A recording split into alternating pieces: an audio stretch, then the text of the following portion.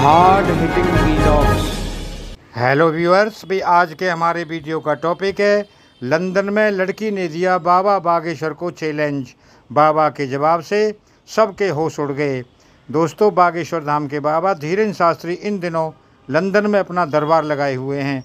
Leicester क्षेत्र में धीरेन्द्र शास्त्री के कार्यक्रम में हज़ारों की भीड़ उमड़ी है। जैसा नज़ारा हिंदुस्तान में होता है, बिल्कुल वैसा ही नज़ारा लंदन में देखने को मिल रहा है।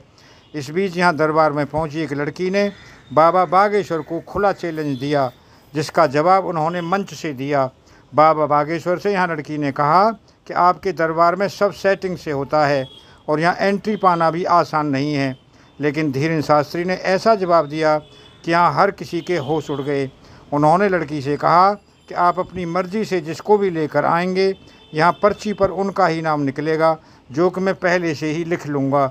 धीरेन्द्र शास्त्री के कहने पर, जब लड़की ने किसी को उठाया, उसके बारे में उन्होंने सब बता दिया, जो कि पहले ही पर्ची पर लिख लिया गया था। बाबा धीरेन्द्र शास्त्री के इस कमाल को देखकर हर कोई हैरान रह गया। दोस्तों, बता दें कि बागेश्वर धाम धीरे शास्त्री 22 से 28 जुलाई तक लंदन में प्रवचन कर रहे हैं। यहाँ भारी संख्या में भीड़ उनके प्रवचन को सुनने पहुँच रही है।